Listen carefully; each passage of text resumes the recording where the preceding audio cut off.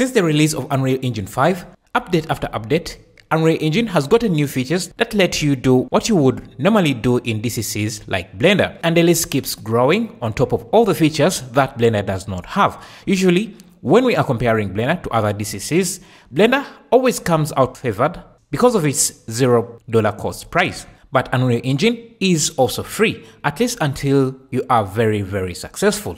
And at that point, even when you only use Blender, it's likely you are using it with paid add-ons. So today we are going to explore the future of Blender and Unreal Engine and try to answer the question, is Unreal Engine a great alternative to Blender? I have always wanted to make motion graphics and as a Blender user, it's been a struggle. Blender has an extensive list of modifiers for modeling, but nothing for motion graphics.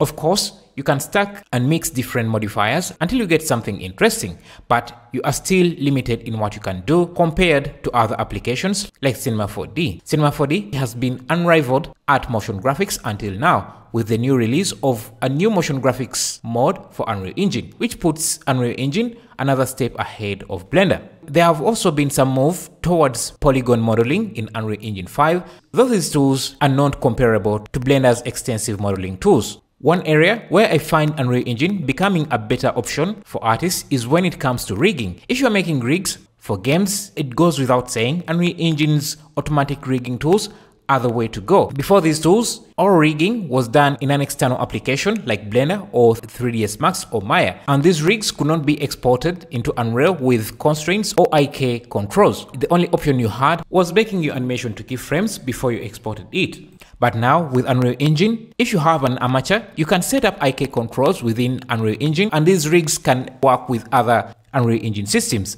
like you're able to use the rig to detect grounds and walls. Basically, they support collision detection. If you are a studio or making a movie, Blender still provides the best options and customization for animation and rigging, but you have to put in quite a lot of work. Even when you use the Rigify add-on, you still have to put in quite a lot of work to get it to work with your model. In the future, I can see Unreal Engine becoming a great option for individual artists or small teams and studios, as their automatic rigging system is the best among any other DCCs I've tried. This also guarantees that your rig will work with other tools in Unreal Engine like animation targeting, where you can easily transfer your animation from one character to another in just a few clicks and all the animations will be transferred. Another tool that can be extremely useful to animators is motion matching. Most animation is made as a series of animations like a character running, a jumping animation, a boxing animation, walking, and more. These are then put together to make a complete story.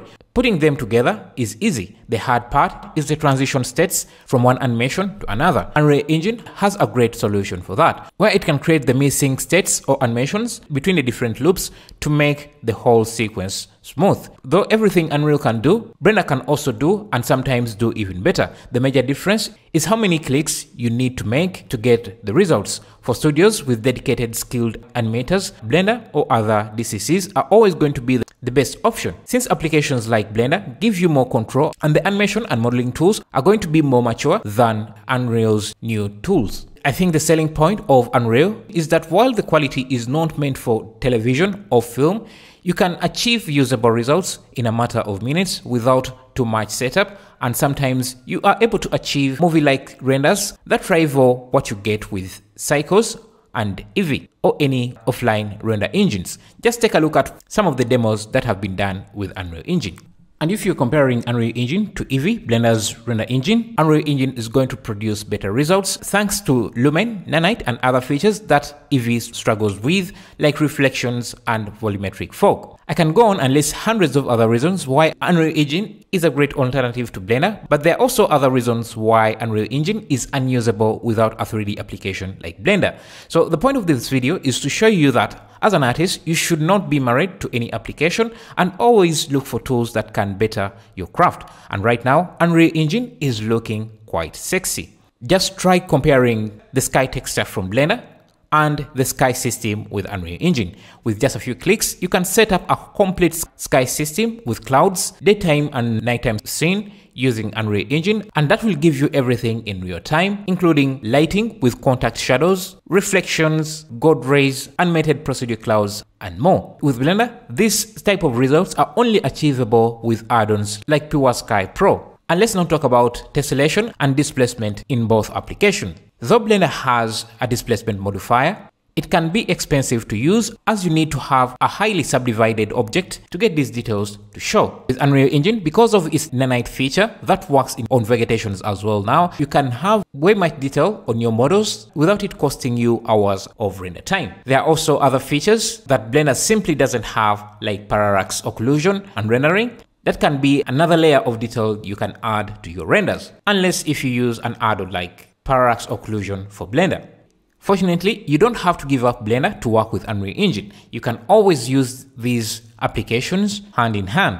And nowadays, it's a lot easier to exchange data between different applications. So anyone who wants to render something really quick at high quality, I would recommend trying Unreal Engine. The future of Blender is a combination of Blender and different applications like Unreal Engine. Thanks for watching. Let me know your thoughts and if you have tried out Unreal Engine, what major differences or advantages do you see that it has over Blender? See you in the next video.